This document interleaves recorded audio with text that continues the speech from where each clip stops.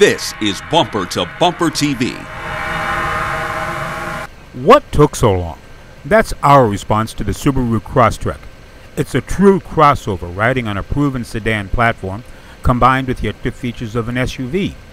The Subaru brand has a pedigree of building tough, all-wheel drive platforms capable of handling nearly any driving condition. So this was a natural step at first glance.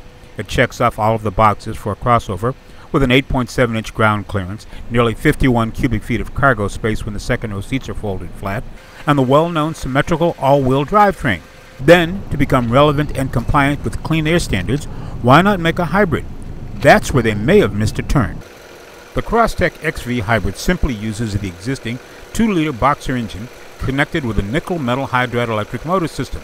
Combined, they generate horsepower of 160 and 145 foot pounds of torque, at least on paper. But don't look for any breakout fuel efficiency numbers. The hybrid only gets 4 miles per gallon more in city driving and no change in highway numbers compared to the gasoline only platform. If the technical approach seems limited, remember Toyota owns 30% of Subaru and shares technology with the smaller company. We were impressed with access to the front seat, and thanks to a weekend with the grandchildren, we also appreciated the ease of access to the second row, even with car seats. This traditionally has been a shortcoming for Subaru, which appears to have solved the problem. In day to day driving, we get a chance to test the responsiveness of the CVT transmission. This version even comes with paddle shifters to create the illusion of a six speed gearbox.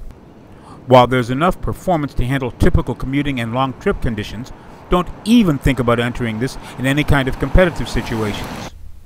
Bluetooth connectivity is standard, and the upscale versions can even interface with smartphones using the AHA radio app. This is a first hybrid from Subaru, and while functional, it needs a lot more engineering to compete with other gas electric vehicles. The good news is that it doesn't come with the usual hybrid price markup that can give buyers a pause before making a decision. This is Greg Morrison. We want to know what you think, so email us. The address is bumper to bumper TV at cs.com.